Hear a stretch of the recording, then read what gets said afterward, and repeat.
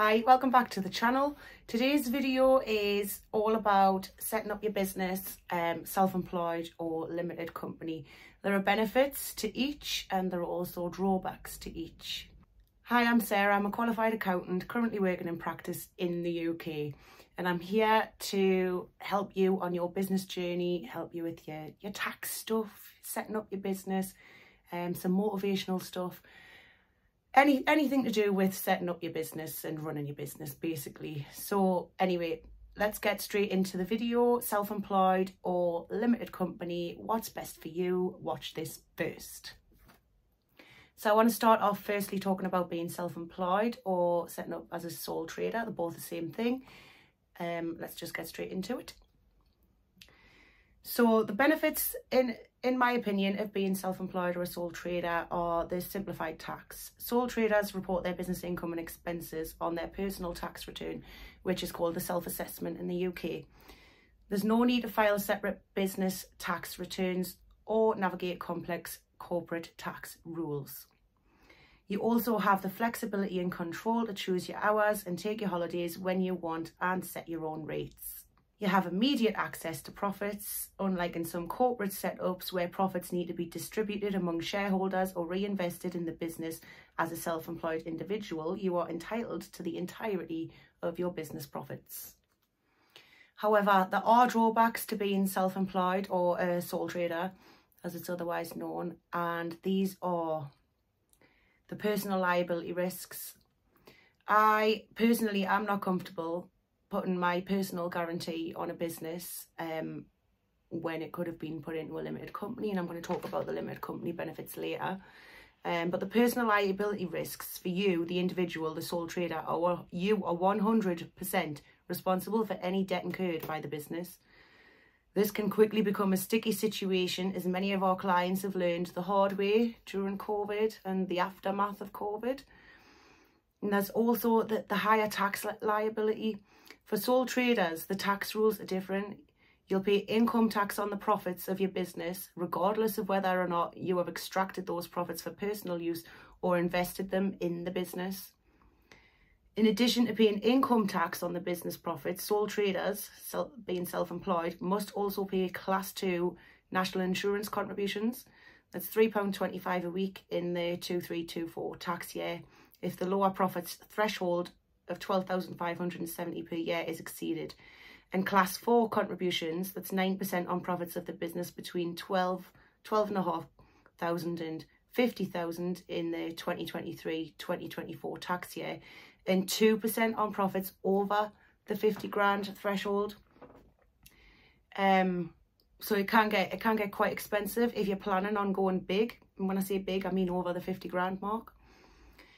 There's other drawbacks like limited scalability, which is what I found early on in my career setting up my company. Um, I quickly changed from self-employed to limited company because we were government contracting, public sector contracting, and you're just not taken seriously if you're just self-employed. A limited company is more credible. So self self-employed individuals typically have limited financial resources to invest in the business and less credibility. So that was the benefits and drawbacks of self-employment or sole trader. Next, I'm going to talk about the benefits of forming a limited company. Um, this is uh, where I get excited when I'm talking to clients because if they say, oh, I'm just going to be self-employed and see how it goes, I get quite deflated because I love to see people with the go big or go home attitude. Like, what's the point in working for yourself if you're not going to go big, if you're not going to expand and outsource and really create a passive income, like something that's going to give you the lifestyle that, that you deserve. So this is where I say to clients, like, are you going to go big or are you going to go home, basically? Um, so the benefits of forming a limited company are the limited liability protection. One of the most significant advantages is limited liability, which means your personal assets are generally protected from business debts and legal liabilities. Another benefit is the tax efficiency. Limited companies often, often enjoy more favourable tax treatment with the ability to split income between salary and dividends, potentially reducing your overall tax liability. There's also another way using pensions, which I'm going to leave for another video. As I said about self-employment, self-employment, you have less credibility, but having a limited after your business name can enhance your credibility and professionalism in the eyes of clients and partners. And this is especially helpful when you're public sector contracting. There's also growth opportunities. Limited companies can more easily attract investment, secure loans and scale their operations. If you're looking to contract in the public se sector, limited companies are looked upon more fav favourably than a sole trader setup. So the numbers and the taxes for limited companies are a little bit more complex. Director salaries are the most common form of rem, rem I can never say this word. Remuneration. If you are a business owner, if a company pays salaries, it will operate via the PAYE scheme and report to HMRC through real-time information this is one of my jobs at um, the practice I work at. I do the weekly, fortnightly and monthly pay runs. I take care of all of the PAYE, um, national insurance contributions, pension contributions. I look after all of that. I send all the figures to the business owners and they pay accordingly. For a business owner operating via a limited company, it's worthwhile considering drawing down a small salary as part of your overall remuneration package. A salary of at least 6,396, which is the lower earnings limit for the 2324 tax year, will mean that you will still be making eligible national insurance contributions towards your state pension. The lower earnings limit, the 6,396, just means that if you Uh, are and above this amount, you will still receive national national insurance credits. That protects your state pension even if you're no longer liable to pay national insurance contributions. A salary of up to 12 and a half grand, 12,570, assuming that there is no other income except dividends. So this means that you haven't got another job. They'll be covered by your personal allowance and should be free of income tax. No employee's national insurance is payable either. Salaries are a deductible business expense for the company, so will reduce the amount of corporation tax the limited company will need to pay. The taxation of salaries for 2324 tax year are as follows. The personal allowance is £12,570. Salaries up to this threshold, assuming no other income, do not incur tax between 12,570 and 50,270, a tax rate of 20% applies. Between 50,270 and 125,140, a tax rate of 40% applies. And anything over that, a tax rate of 45% applies. In the 2023-2024 tax year, employees are required to pay the following national insurance contributions. Class 1 contributions are 12% for, for salaries ranging between 12 and a half grand and 50 grand per year, 2% on earnings above 50 grand a year, rounded down because I'm sick of saying 270 and 570 over and over again. In addition, employers must also pay NI contributions, 13.8% class 1 contribution on salaries above 9,100 per year. Did you know employee and employee NICs are never due on dividends but always on salaries? If a limited company has made a profit after paying corporation tax, this can be distributed to the shareholders of the company in the form of dividend payments. Recipients of dividend payments will need to pay tax on their dividends. Depending on the amount of div dividend income, you may be eligible for the tax-free dividend allowance. For the 2023-2024 tax year, the tax-free dividend allowance is £1,000. This means that you won't have to pay any tax on the first £1,000 of dividend income each tax year. So now I'm going to talk about the tax on your dividends income and combining that with a salary to make this the most tax efficient way to run your company.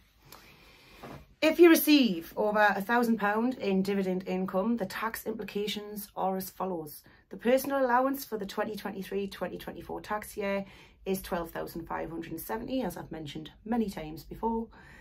If your total salary and dividend income for the year falls within this amount, no income tax will be due on them. By combining your personal and dividend allowance, you can receive up to 13,570 income free of income tax in this tax year. If your combined salary and dividend income exceeds 13 and a half grand in this tax year, you'll need to pay tax. If you receive dividends up to the value of 50 grand, a tax rate of 8.75% applies after you have used up your personal allowance and the £1,000 dividend allowance. For dividends over and under 125 grand, a tax rate of 33.75% applies. Over 125 grand, it jumps to 39.35%. And as I've said, there are ways to get your income under the 125 grand using pension contributions, which I'm going to talk about in another video. From the 6th of April 2024, individuals who receive dividend income, the allowance will be cut to £500. Thank you, Chancellor of the Exchequer. So as you can see, you're taxed on all of your income, regardless if that's invested back into the business or not if you're self-employed. But there are tax savings to be made if you're going to form a limited company. And I, I always say, if you're going to go big, just do the limited company from the start. It makes everything so much easier. However, I know there are lots of risk-averse accountants out there, my colleagues included, who will say, just go the self-employed route and see how it goes. Because a lot of businesses fail in the first year. We all know that. We've, we've seen loads of videos on the percentages. Um however if you're clear on your mindset and you are determined that this is going to be a success you're not going to fail you've got too much riding on it then yes go the limited company route. That's what i would do. However there are a few drawbacks to forming a limited company. Um this sound worse than they are but a good accountant can help you with all of this. A good accountant can put you in touch with people who can help. Um, outsource as much of the administrative tasks as you can and you should be on a winner. So running a limited company has more administrative complexity. It involves more paperwork, legal obligations and compliance requirements such as annual financial statements and corporation tax returns, all of which a good accountant can help you with. There are costs. Setting up and maintaining a limited company can be more expensive due to the registration fees, accounting costs and potentially higher insurance premiums. And this, this, this next one, reduced privacy. Limited companies must disclose financial information, including director salaries and annual accounts, which becomes public, publicly accessible. And also, if you're not using a different address to your home address or, or whatever, your home address is going to be made available on Companies House, but there are ways around that, which I'm also going to talk about in another video. So in summary, choosing between self-employment and a limited company depends on factors like your financial situation, your risk tolerance, growth aspirations and administrative capacity. Many businesses start as self-employed individuals like I did and transition to a limited company as they grow.